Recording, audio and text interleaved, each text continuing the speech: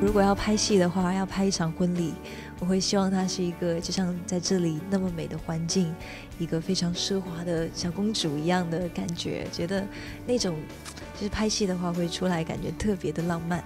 但是我自己希望的婚礼还是一个非常简单的婚礼。